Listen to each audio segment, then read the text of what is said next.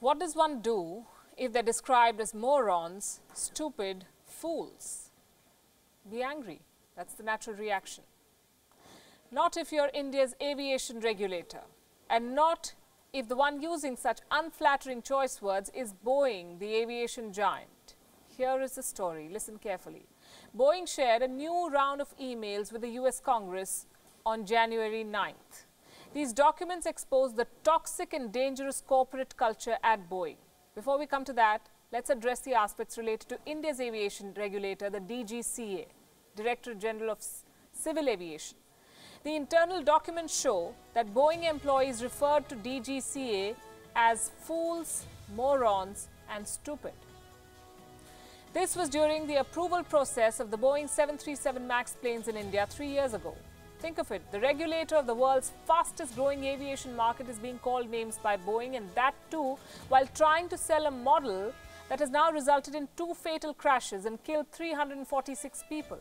Let me quote some of the words about DGCA. This is from the year 2017. One Boeing executive to another says, and I'm quoting, the DGCA in India is apparently even stupider.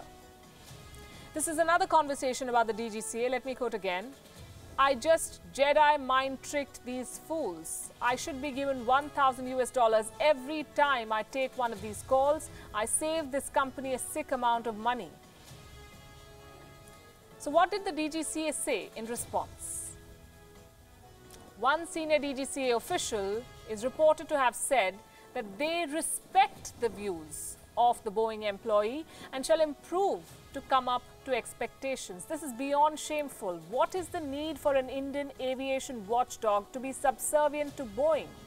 Isn't India's civil aviation regulator employed by the government of India or is Boeing their paymaster? And what explains the Boeing employee boasting of mind tricking India? Did the government lose money to Boeing?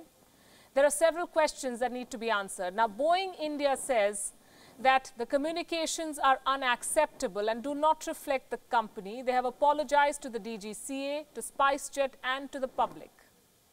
SpiceJet bought those planes. In another communication that has come out from these internal documents, a Boeing pilot advises an airline to send DGCA an email. Why do they want to send this email? What's the intention? This mail had a list of all airlines around the world using the MAX just based on computer training. So this mail was intended to make India feel stupid for asking for additional training requirements. Was Boeing playing with pilot training and people's lives? And did DGCA get swayed by emails over other countries and airlines? Is India's civil aviation watchdog so gullible? There were other shocking revelations here. Boeing employees had this to say about the 737 MAX, I'm quoting again. Designed by clowns who are in turn supervised by monkeys.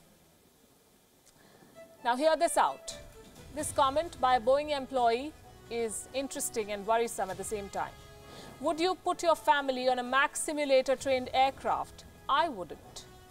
That's what they say in Boeing.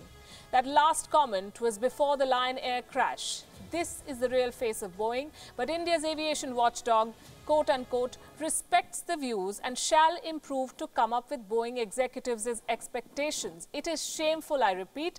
The aviation regulator must read through the entire internal documents once more. There are indications that Boeing might have sold a dodgy, defective model and that too without bothering with pilot training and without any care about passengers' safety. Boeing does not give much importance to any regulator, that much is evident. But does India care about its self-respect? And if it does, the government of India should send a clear message to Boeing instead of taking such insults lying down.